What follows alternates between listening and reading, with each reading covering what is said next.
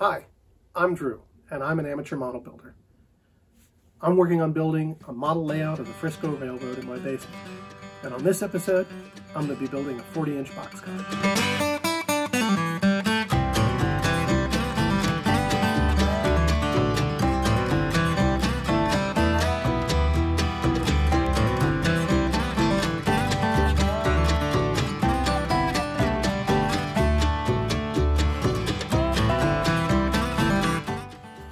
This episode, I'm going to be doing a start to finish build of a 40 inch boxcar. It's an Athearn from their Roundhouse line. I don't know how long ago I got this. The sticker on it says it was $5.25. And these things are going for about 20 to $25 now, so it must have been a long time ago. So should be a lot of fun, and let's get started. When I get started with any kit, the first thing I do is check out all the pieces that are in the box and browse through the instructions. Just want to get a lay of the land and see what the steps are in the process, anticipate any problems, and start mentally making a plan right away for how I'm going to get this all together.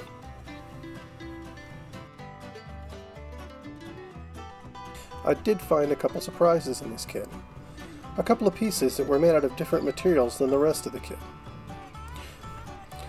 So I dug into the instructions to see where they might fit, but I couldn't find anything in the instructions about them. Then I found this. I do have another model that's a Tichy Train Group model, so these instructions must be through them. I needed to move forward without any instructions on this model. And it seems that those pieces don't really go to this, they go to something else, so I set them aside. Since I'm doing a full repaint on this model, I start with a base coat of primer. Starting with thin coats, I layer up until it's completely covered and you can't see any of the branding on the original.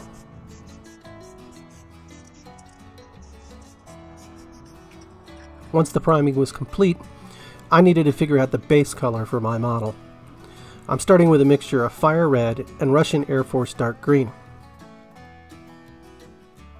I began experimenting with different ratios of these two paints. I'd start with the ratio, paint it onto a blank index card, making note of the ratio. From there I could determine what mixture I'd want to go with finally for my boxcar red.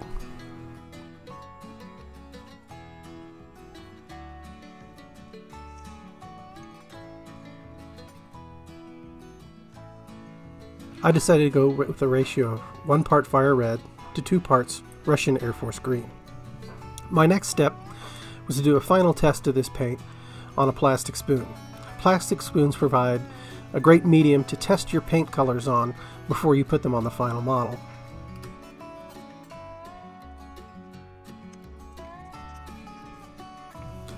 Again, starting with light coats, I'd build up to a darker coat to see the final result of my paint.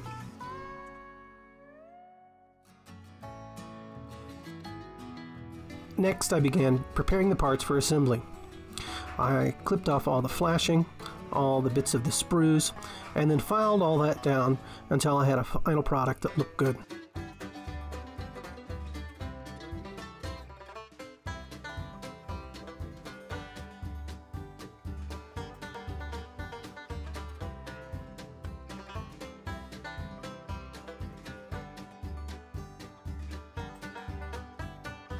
There was a lot of this work to be done to get the parts all cleaned up and ready for assembly.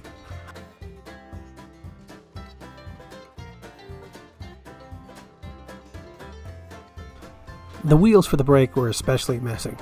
Lots of flashing to take care of.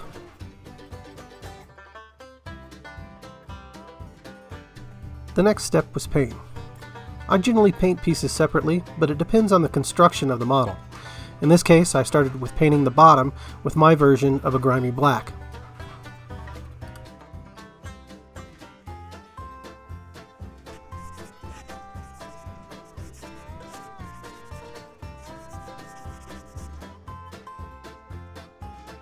I generally try to test fit pieces together just to make sure I know how everything comes together.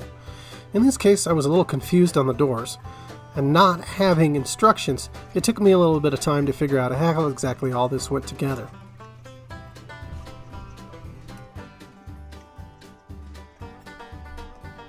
Once I figured this out, I glued in the rails for these doors.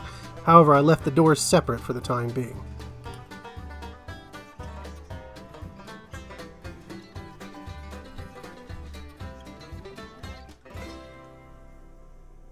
Next was the base coat of my boxcar red.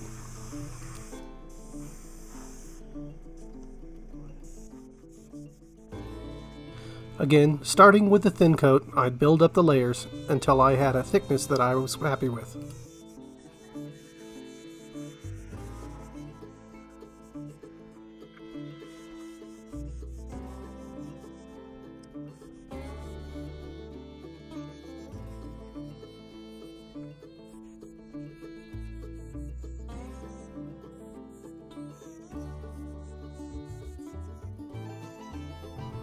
Next, I painted the inside of the floor wood.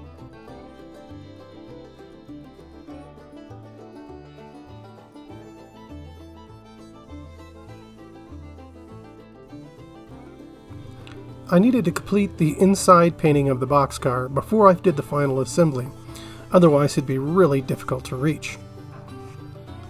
This included the weathering.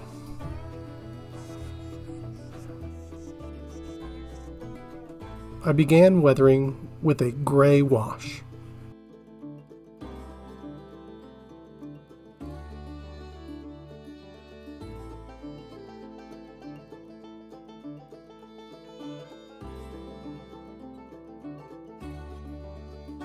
However, I wasn't too happy with it. It was a little blotchy and a little too subtle for what I was looking for. So I began to mix my own wash instead, using just chocolate brown.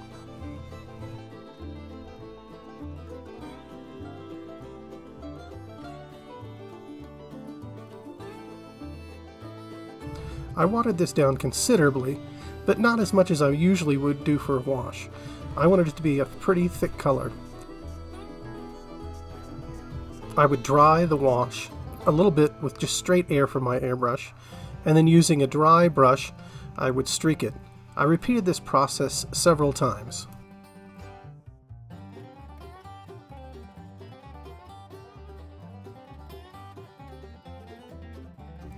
Here's the final result from those steps.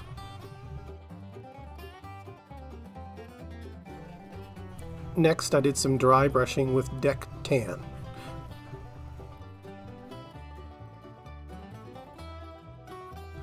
Putting just a small amount on my brush, and then wiping most of it off onto a paper towel. I lightly brushed in multiple directions to highlight ridges and to make streaks to simulate wood.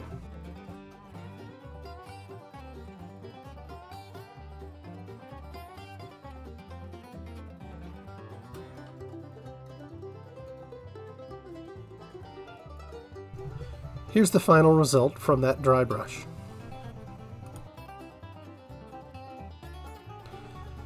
Next, I assembled the bottom.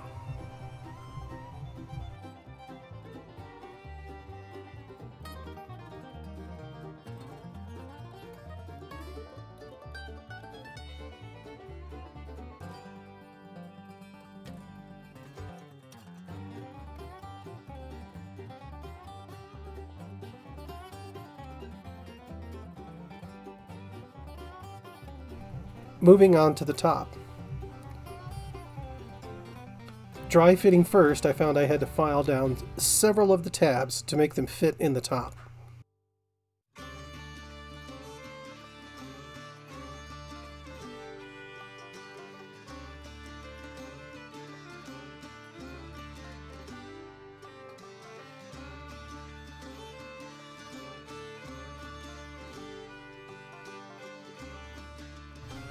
If I had it to do over again, I would have glued in the walkway on top before gluing in the bottom.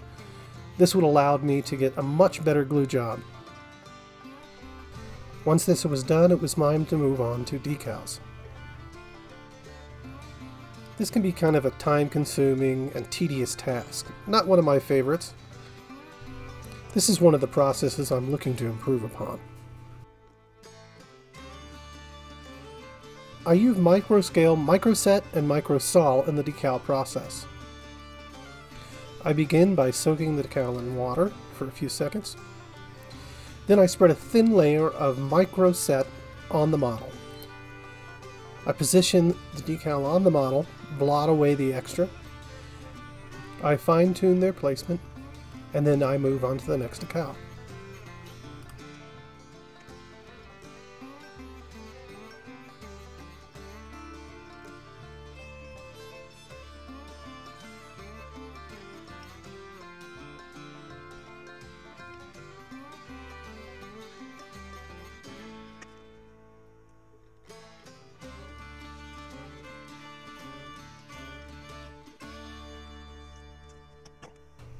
Once they have dried, I apply microset.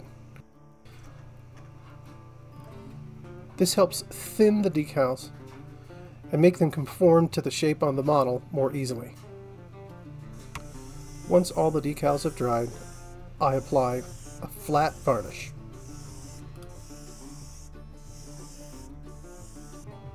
As you can see, I got a little over anxious and munched one of the decals. I'll work with that later. I've also got a few other spots on the paint that I'll need to deal with in weathering.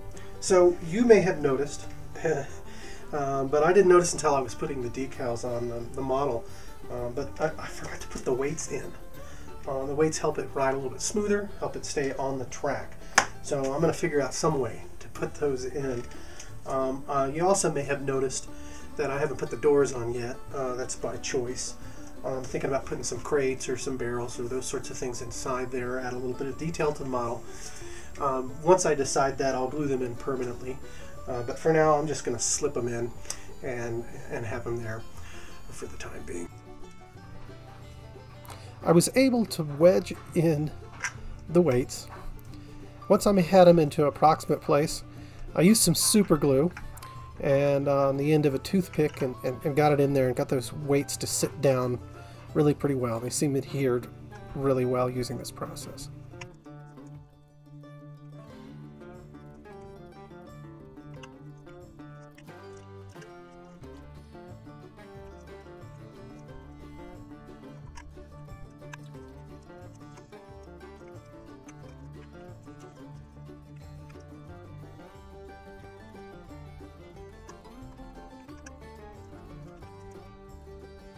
Now most of the assembly has been complete, the paint and decals are done, it's time to move on to weathering.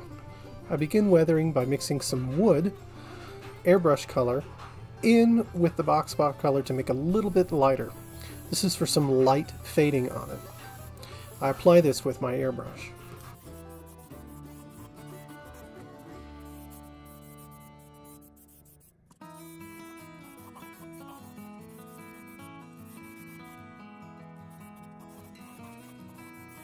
This effect is pretty subtle, and I want it to be subtle.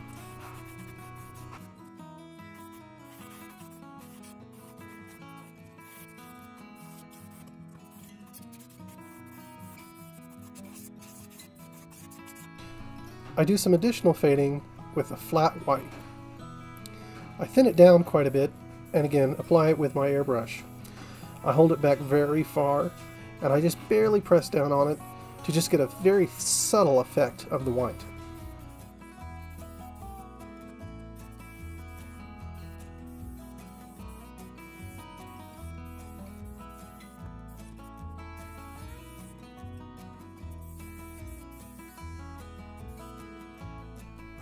Now it's time for the dark fading. I dry brush this on, and I use a mixture of my boxcar red and chocolate brown.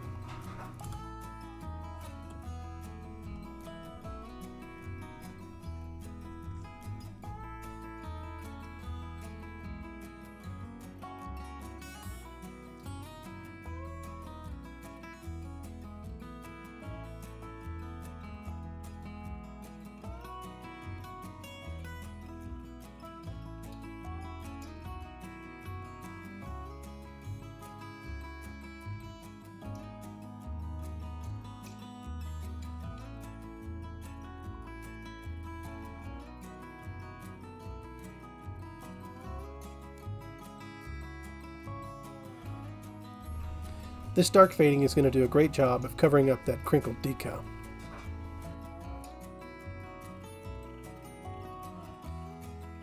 recreate some of the marks I saw on the prototypes. I use a fine line brush with thinned down paint to do this. Sometimes the edges get a little bit harsh, so I'll soften those a bit with a sponge.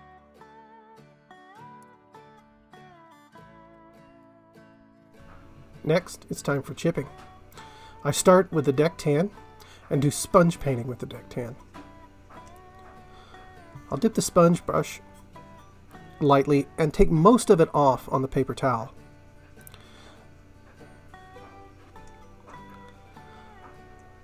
I dab the sponge lightly on the top.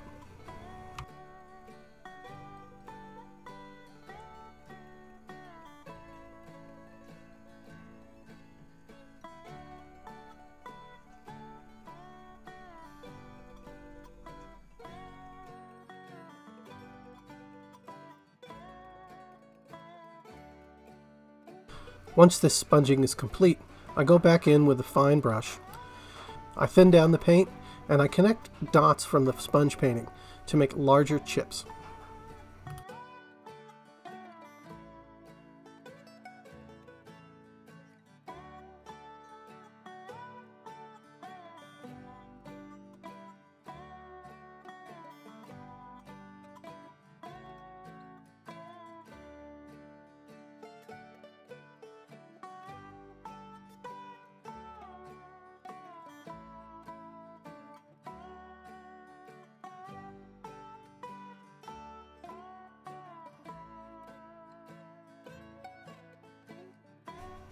I applied chipping to the top, as well as the ladders, anywhere that there would be rougher wear, or we've got a flat top that is going to be more prone to chipping.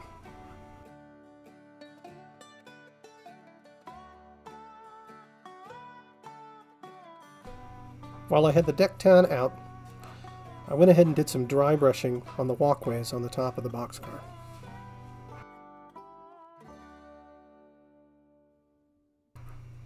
The edges were a little too crisp on this chipping, so I went back in and did some dry brushing around the top of the chipping.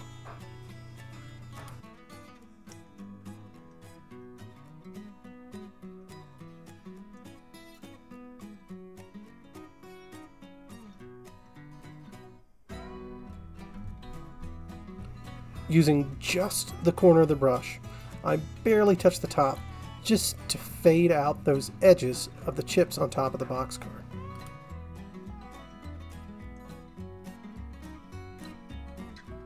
Here is the end result of that dry brushing. You can see how it just softened those edges and added a little bit more depth. Now it's time to move on to the dark chipping with German black brown.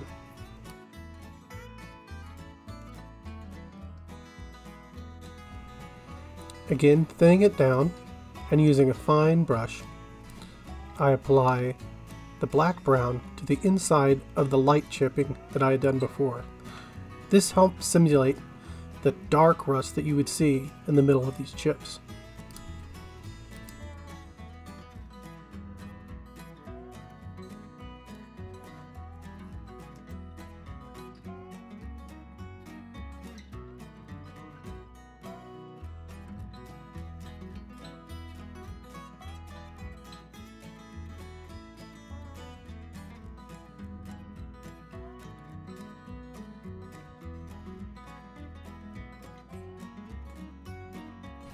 I apply this everywhere that I had applied the light chipping before.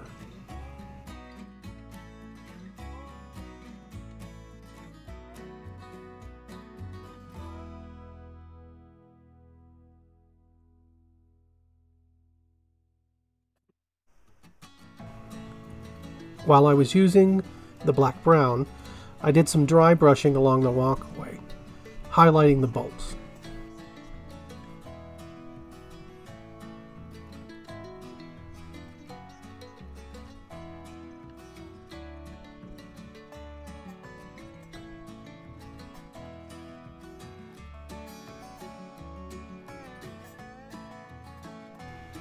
Here you can see the dark chipping. Now it's time to apply the rust to the chipping using orange brown and light rust. Using a fine brush, I apply this to the outside of the dark chipping I'd done before.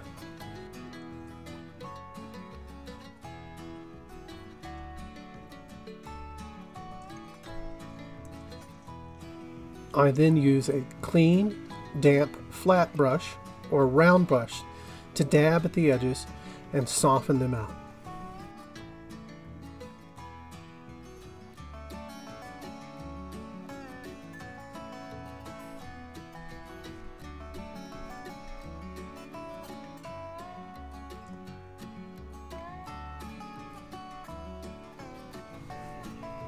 This can take a little bit of practice. Paint tends to dry quickly because it's acrylic paint. Thinning down the paint gives you a little bit more working time. Here's the end result of the rust. Next, I apply some rust wash.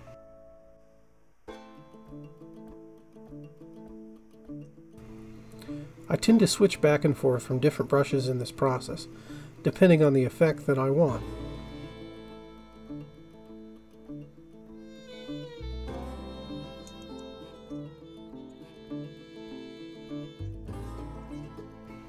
I can also apply some of the rust wash with a fine brush and then blend it out with the round brush.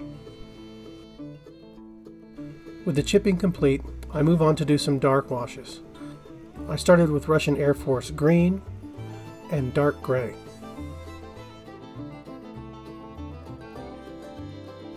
The result was actually a bit too green for my liking. I started by adding a little bit more dark gray to try to tone that down, but it was still too green. Finally, I added some chocolate brown, which is a little bit more of a warm tone, and toned down that green.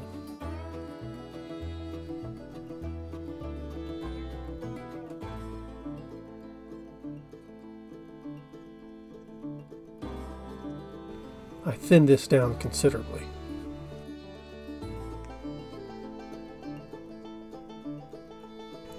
I focused this wash on the bolt lines on the boxcar. In addition, I applied it to the top and the side as well.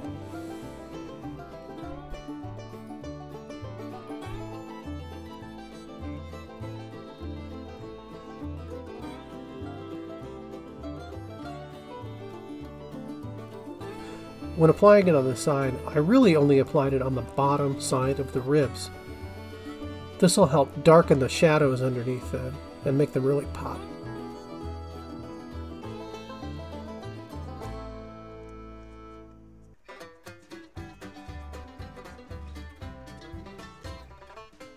I applied the wash on the doors as well.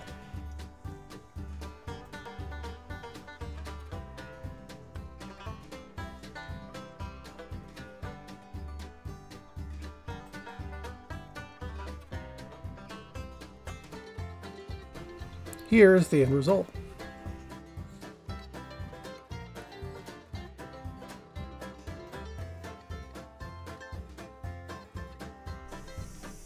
I then moved on to weathering and painting the trucks. As usual, I started with some primer.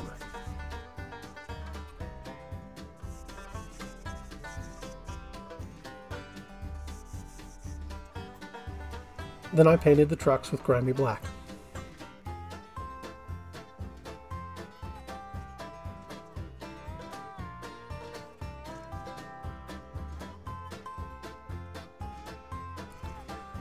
I really like these rust pigments from Vallejo, and I use them in a number of different ways.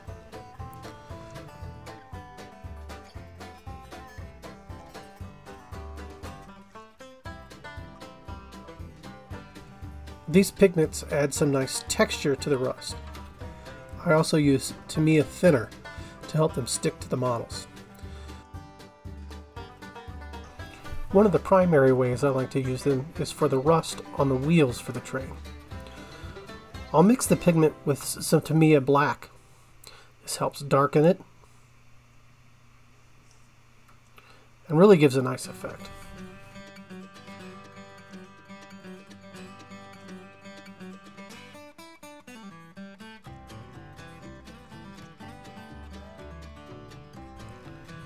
This process can be a little bit tedious.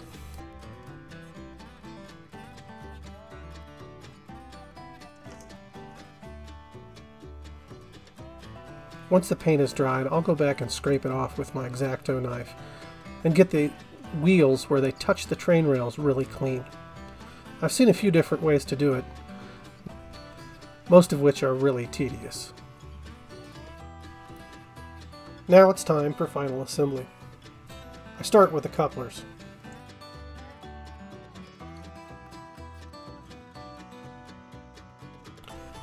I'm using Kadee magnetic couplers in this case.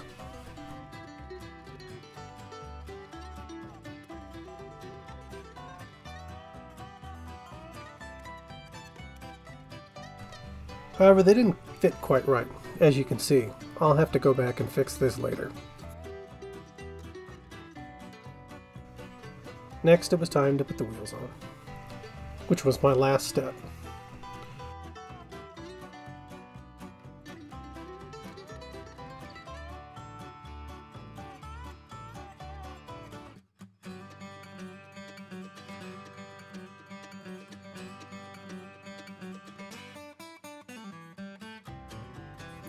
So here it is, the finished project. I sure hope you all enjoyed watching me complete this boxcar. I enjoy, sure enjoyed putting it together. Next time, I'll be working on the track plan for the White River Line, and I hope you can join me for that as well. Please click on like on this video, subscribe if you want to see some more of this content, and I sure love to hear some feedback on my model making techniques, so you can put those on down below. I'd love to hear back from all of you. Thanks again for joining me on this episode of Modeling the White River Line.